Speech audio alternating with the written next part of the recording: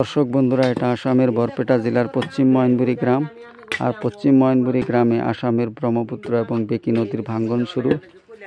এই দেখুন, আজ থেকে ত্রিশ পঁয়ত্রিশ বছর আগে এখানে মানুষ ঘর দুয়ার বেঁধেছিল, কিন্তু সেই সব ঘর মুহূর্তের মধ্যে এখান থেকে তছনছ হয়ে নদীতে।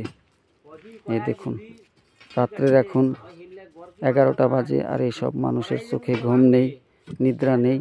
এই সব মানুষ নিরাপদ নয়। অনেক দুঃখ কষ্টের মধ্যে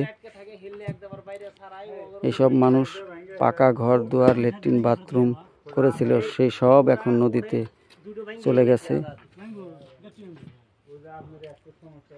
এই দেখুন, এখান থেকে এই যে পাকা ঘর, দুয়ারের পোস্ট স্থানান্তরিত করা হচ্ছে। আর এই সব মানুষ ভূমিহীন হচ্ছে, গৃহহীন হচ্ছে।